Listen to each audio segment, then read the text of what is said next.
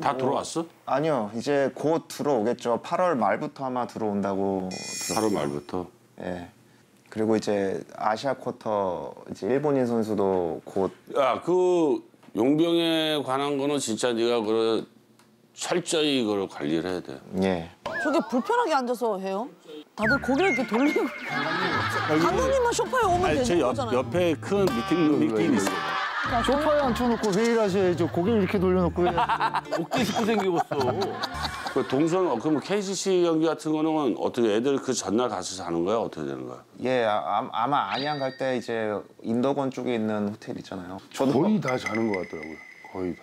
여기가 애매해요, 고향이 좀. 어디 가려면 좀 네, 멀어. 고향은 다 잡니다. 그러니까 다 잔다고 봐야 돼요.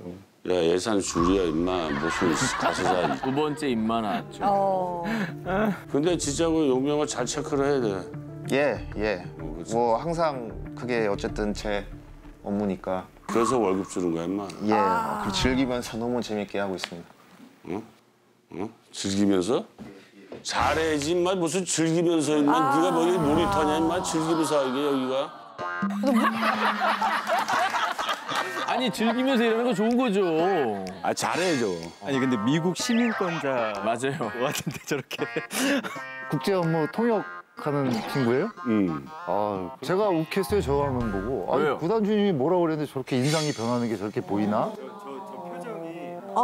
어, 뭐예요, 또? 어. 아니, 왜냐면 왜 그래요? 다음 주 여기 앉으세요.